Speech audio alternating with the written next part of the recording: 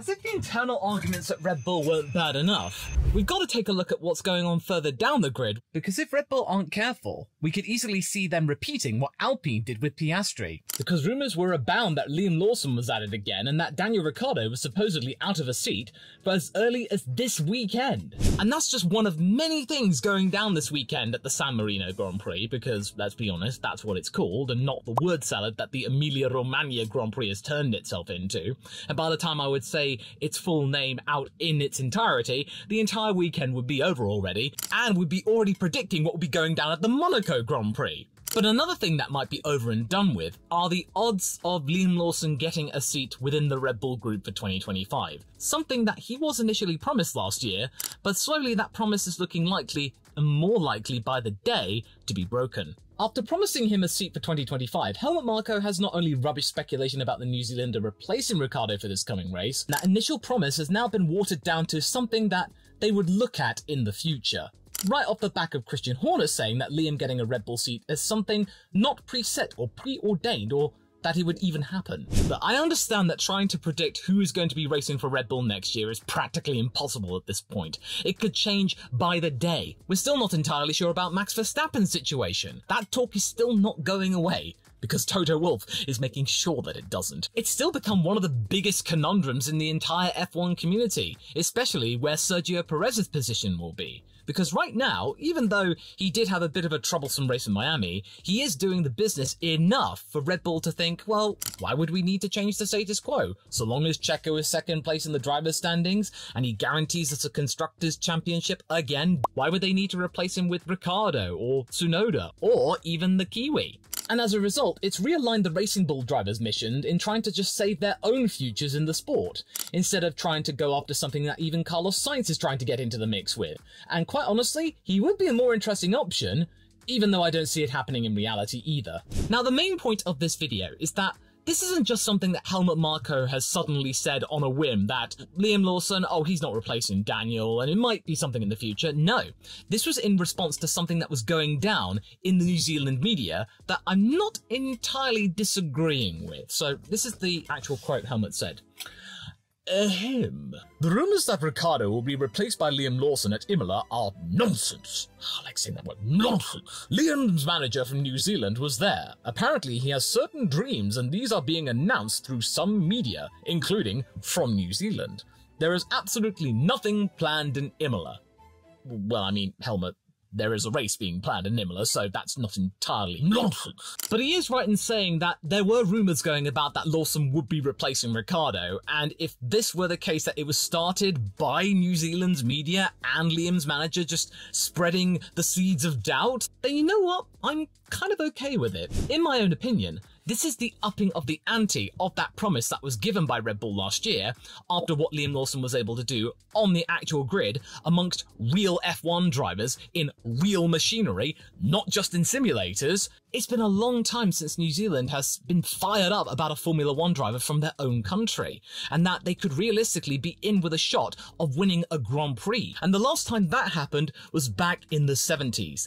Denny Hulme doing the job at the 1974 Argentine Grand Prix. Incidentally, in a McLaren car, which was also founded by a Kiwi. And Bruce McLaren was the only other New Zealand driver to win a Formula One World Grand Prix. And yes, I know about Brendan Hartley and his time at Toro Rosso, and that that time was not particularly fruitful. What it proved to me, like with many other drivers that try F1 and it doesn't work out for them, is that sometimes a particular car is just not their cup of tea or it's not their bag. Instead, you look to the other categories that Brendan takes part in and realize, Oh, he's good at that instead. Hartley's really good at sports cars. He has four World Endurance Championship titles and he's won Le Mans twice. As for Liam, F1 seems made for him, and that was in an AlphaTauri which was not the best car on the grid. Yes, it did get better, as Tsunoda and Ricciardo proved, and then the 2024 iteration of it, under Racing Bulls, is proving to be continuing that upward trend to the point where the next race could define the course of Aston Martin's season.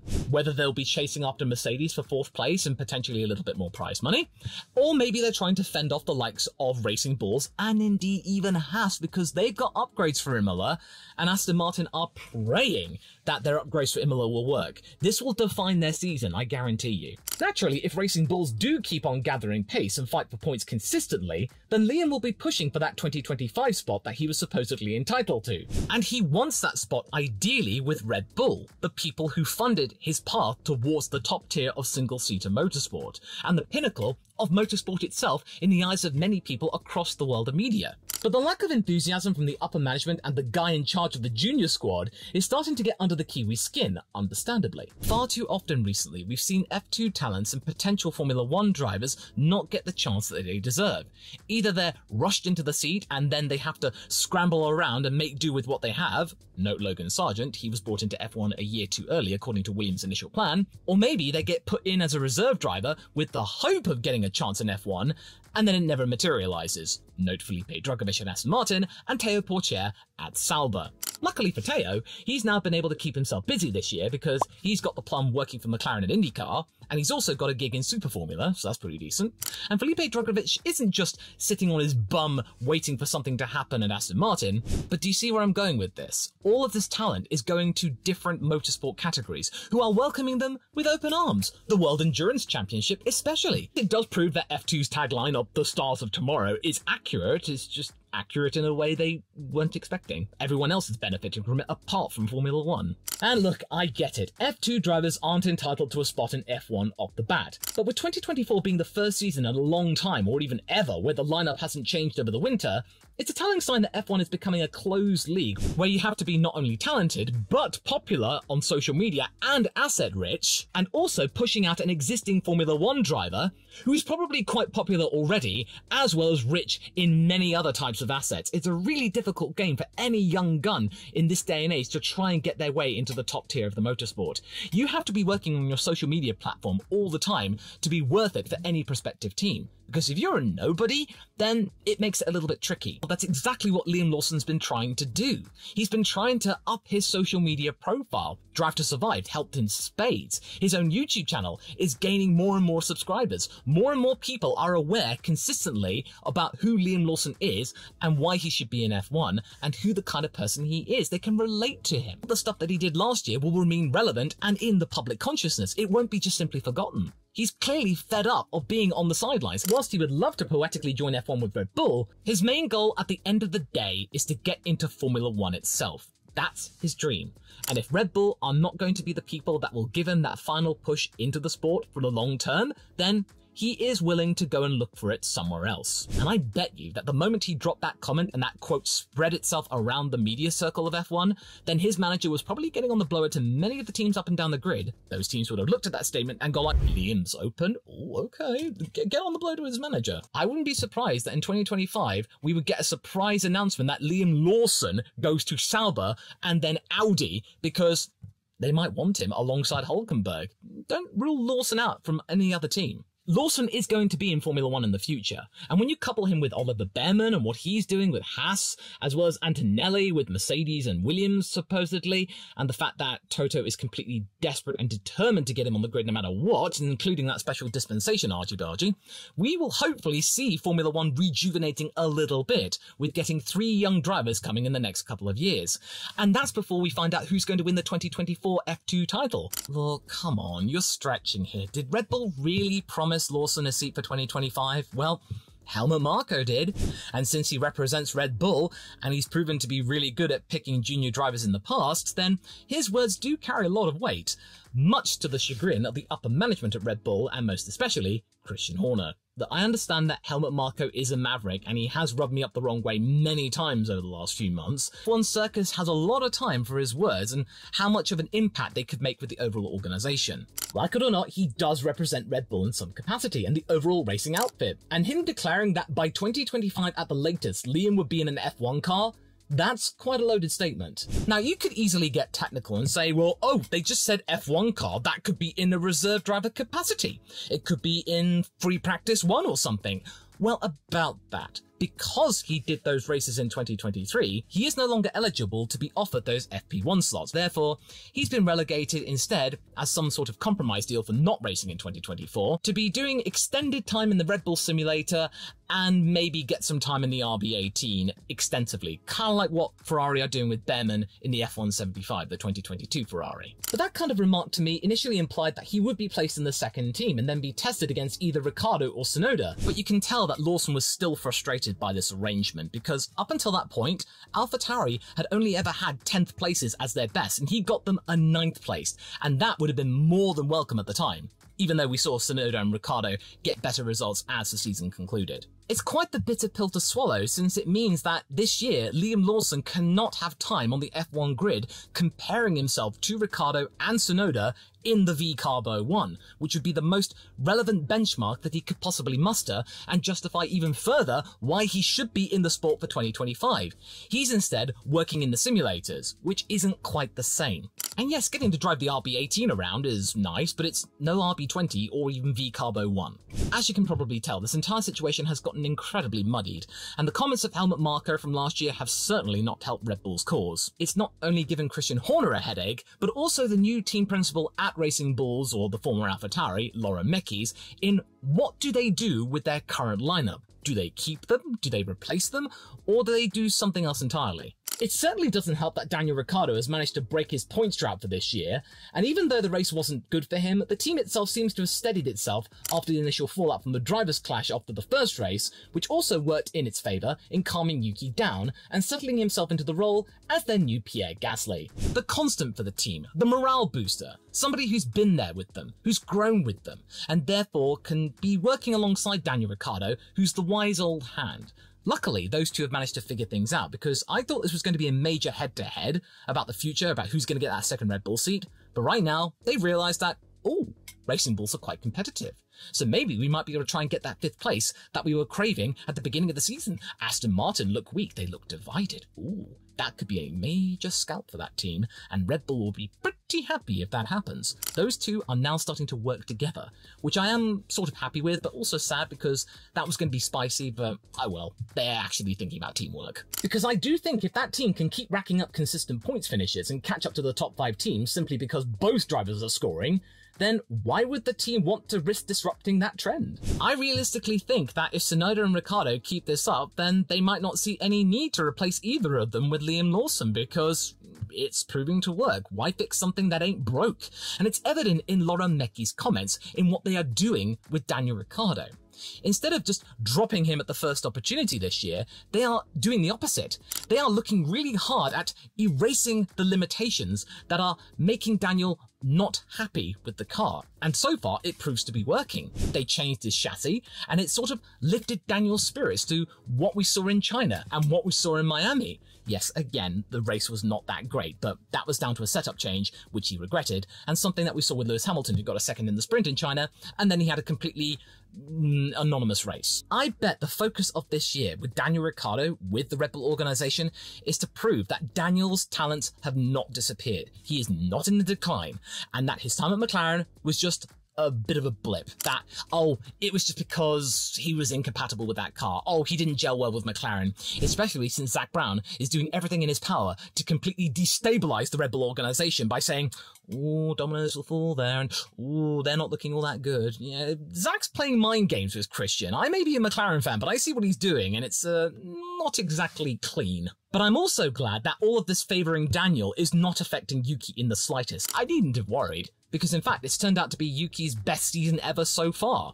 And Melbourne turned out to be just the start of what he could do. Miami, I think, was even better because he scored in both races, the sprint and the Grand Prix itself. That was a really solid effort for Yuki, fantastic. But can you see where I'm going with this? Both drivers at Racing Bulls are doing pretty well right now and the team is looking quite happy with this lineup. So again, why change it? It's seemingly becoming the case that there is less and less room for Liam Lawson in this iteration of the second Red Bull team. This team, under the guise of Racing Bulls and being led by Laurent Mekies and the new CEO Peter Bayer, are looking to what the team is worth in the Red Bull organization, the Horner Empire. It is a money-making machine and not the Red Bull wheelhouse where the stars of tomorrow in their junior driver ranks are guaranteed to have a chance for a year or two to see whether or not they are worthy of joining the senior team. That formula, that way of doing things is no longer the case. They said so themselves. They might try and keep up with that trend, but it's not their main priority anymore. Their main priority is to be competitive, to appease the shareholders. That's what they're doing. And yes, Liam Lawson did please the shareholders last year, but so far, Daniel Ricciardo is pretty much one of their major priorities. And they've seen it starting to work in Shanghai and Miami. It might continue even more so with the upgrades proving to be quite good with them. Yuki's doing really well. They might be in the hunt for fifth place. It's all looking good. So why destabilize that with somebody who we've seen was determined to undermine and outperform Tsunoda? And if you do that, that makes Tsunoda angry, and then you get mistakes happening. You want to keep Tsunoda happy. You want to keep Ricciardo happy. Both drivers are happy right now. So don't rock the boat. That's why I think Mekies, Horner, and Bayer are thinking right now. So as a result, it's meant that Liam's biggest contribution to the F1 world is him being camera fodder for whoever's directing the TV coverage of this Grand Prix. They always cut to Lawson. Every single time. No joke. I, just just keep an eye out for future races, right? If you haven't seen it already, and if you have seen it already, you'll know where I'm getting at. So this escalation of pressure from Liam's management is stirring up rumours regarding Daniel Ricciardo's future, whilst unfair and not entirely professional, are understandable. New Zealand is pushing for Lawson to get into the sport. They have seen it firsthand that Liam is capable of being an F1 driver who isn't going to be spending the majority of his time at the back of the grid. They want to have their own representative at the top table, whereas their biggest neighbour Australia has two of them currently. One is a superstar who has won many Grand Prix and generates a lot of wealth and a lot of interest for the sport, and another is a championship contender for the future. My boy, Oscar Piastri at McLaren. I'll be making a video about him in the future about why his performance in Miami was kind of overlooked in the wake of Lando Norris getting his first Grand Prix, which by the way I'm happy for. But New Zealand wants a piece of that too, because they've seen that Lawson and Piastri can go toe to toe with one another, not only in F2 and the junior categories, but also at the Italian Grand Prix. Piastri and Lawson, they had a duking it out at the Italian Grand Prix, and I want more of that. But I can also tell that Red Bull is not really subscribing to what Liam Lawson is trying to do here, as well as what he can offer the team in the future. They are trying to keep the status quo right now because everything else, in terms of the overall organization of the team, is starting to crumble slightly. So therefore, Liam Lawson is playing a really clever game in the eyes of social media and where the fandom of the sport is headed. He practically had an episode of Drive to Survive dedicated to him and his plight. He vocalized his frustration. The brand new fans saw what he could do and that he had been denied the opportunity to extend that opportunity even further. The fandom are behind him. They want Lawson in the sport. He wants to be in the sport. He and his team are pressuring Red Bull to honor the promise that Helmut Marko gave them last year year that Lawson would be in an F1 car of theirs in 2025, and that they would continue to fuel the comments that Lawson made himself that if he can't do it with Red Bull, he will go somewhere else. He wants to be in F1. That's his dream first and foremost. And I assure you that all of these other teams will be scrabbling over each other to try and secure his signature. Because as we saw with Piastri and Alpine, a team who wants you now is better than a team who might want you later if it's convenient for them. And something that we want as a fandom right now is some stiff competition for Red Bull. And given upgrades are coming for this next race for Ferrari and McLaren, I feel that the domination era of Red Bull might be ending. I'm not saying that the successful streak is ending, domination and success are two different things. Something that I elaborate on further in this video here that you can go and watch right now. Ooh, don't miss it.